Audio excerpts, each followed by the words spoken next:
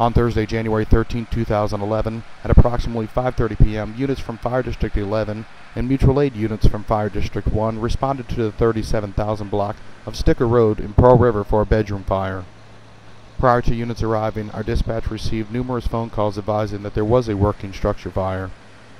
Fire District 11 units arrived on scene shortly after the dispatch and found smoke showing with fire conditions inside. Apparatus and personnel arrived on scene and made a quick attack. After hotspots were extinguished and overhaul was complete, the investigation found that the fire appeared to have been started by a space heater that may have accidentally been knocked over. Two people were at home at the time of the fire, but made it out of the home safely. Every cold weather season, we like to remind people of these few winter weather safety tips.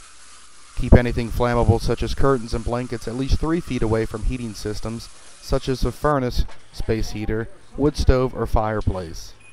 Keep children and pets away from your heating source as well. For permanent heating systems, ensure that they are installed and maintained by professionals. Remember, never leave heating systems unattended and turn them off when you go to sleep or leave your home. Only use proper fuels in wood and wood burning stoves and fireplaces.